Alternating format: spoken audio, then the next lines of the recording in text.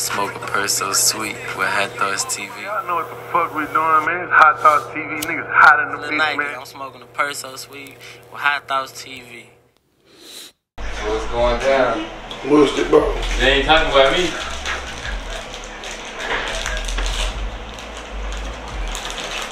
You didn't forget shit, boy.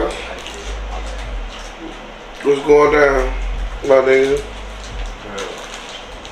I done had a hell of a week, man. Talk. Is a legendary spot, you know what I'm saying, in history, you know what I'm saying, because some real shit happened for a fake nigga. You know what I'm saying? And when I say some real shit happened for a fake nigga, that mean that he got to walk away with his life, you feel what I'm saying? Because everybody not saying that shit, he could have been a nigga that we could have been both on the news, mugshot, nigga on the pavement, you know what I'm saying? But he'll never be in a situation where he'll say that, damn, I appreciate the nigga. You, you want me to say I appreciate you? Nigga, tell me you appreciate me. Yeah. See, I'll let you go home. Do you feel like at all you played part in him pulling up on you and causing the situation? The only part I played that was on this page, bro. If I was never on this page, I would have never been in that shit. So, by me being on his page and being on his motherfucking video, they gave him access to me and thought he could play with me because I shouldn't have been on his page. That's what the part I played in it, by being on his page. So, um, aside from that, you know, we had Milk said before come on the channel. Man, Yeah. fuck Milk gay ass. Milk gay and he's scary, bro.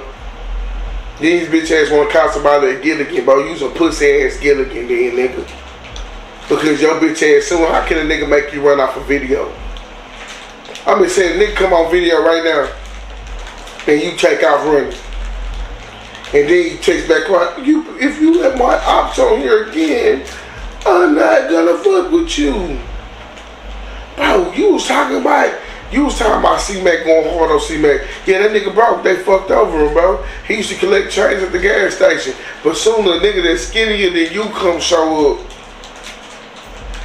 OG Slim is a skinny nigga, bro. See, bro, down south niggas, we different. If I was showing a skinny nigga like that, he probably be the bad motherfucking player. Big niggas like that see skinny niggas like him in the state of Texas, we laugh. So, no disrespect to OD Slim, whatever your name is, bro. I'm just saying your size.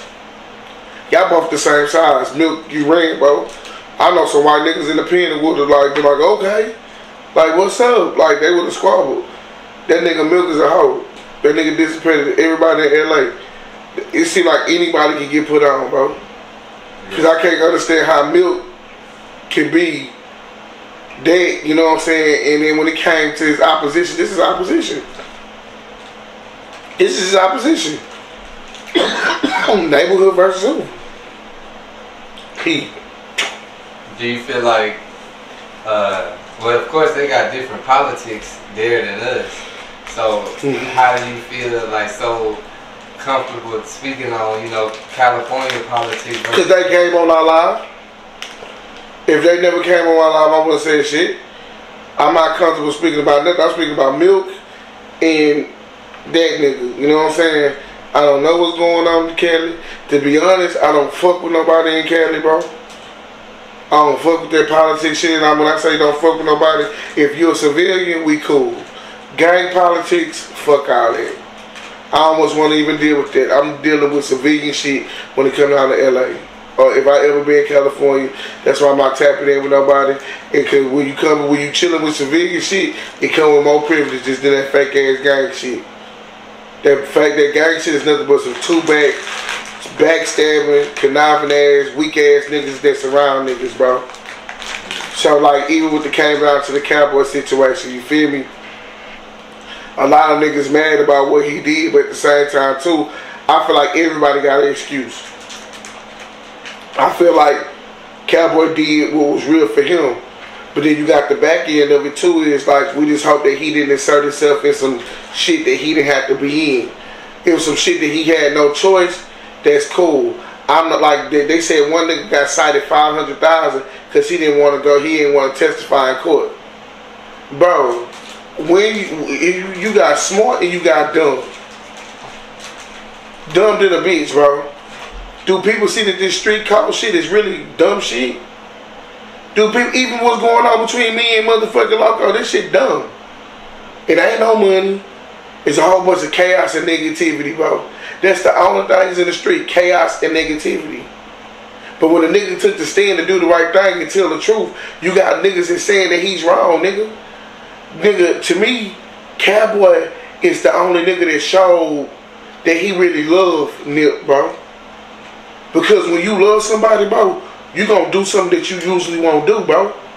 For that person. So, nigga, no, any other day he wouldn't talk to the law. But when it came down to his partner, a nigga that was feeding him, a nigga that was fucking with him, a nigga that he raised, he did the right thing in the in the right people, people that does the right thing eyes. He went and he told what happened. Nigga, that nigga shitty cuz or just like you had the other nigga, I ain't even trying to even fucking play with no nigga online, bro. You a gangster, you a gangster. But, I but I'm just speaking, giving my opinion. Like the other nigga that's going against Cowboy, bro. You didn't love Nip, bro. You was a fan. You was his homeboy, like, cause he was a rapper. You know what I'm saying? Cause, cause he was a rapper, that's why his name is all up in that shit, bro. That nigga here no more. He not here. Yeah. He's not here. He got done dirty.